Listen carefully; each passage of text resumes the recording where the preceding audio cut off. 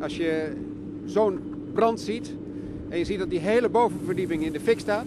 Je ziet mensen om je heen die reddeloos en radeloos zijn. Want burgemeester, dat is mijn huis, dat is mijn woning. Nou, dat, dat is vreselijk. Dat, dan, dan heb je vreselijk met die mensen te doen. En je denkt alleen maar bij jezelf, hoe kunnen we nog erger voorkomen? Onze brandweer is heel hard bezig geweest met allerlei korpsen uit de omgeving. Met blusboten. En op die manier, ja, het, pand zelf is opgegeven, maar de belendende percelen die zijn behouden kunnen blijven. Er zijn een dikke 60 mensen die geëvacueerd moeten worden. Enerzijds omdat hun huis er niet meer is. Dat zijn de 15 appartementen in het Marine Hospitaal. Maar daarnaast zijn een aantal belendende percelen waar zoveel waterschade is dat ze er zeker vannacht niet in kunnen slapen.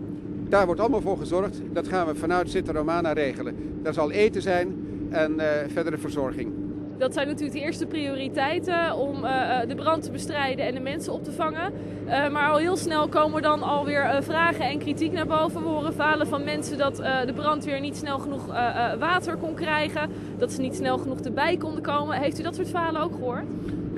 Je hoort als je hier rondloopt allerlei verhalen. Ik heb in ieder geval de eerste check is dat tien minuten na de eerste melding was de eerste brandweerauto er wat je met zo'n situatie altijd doet, is een, een, groot onderzoek instellen.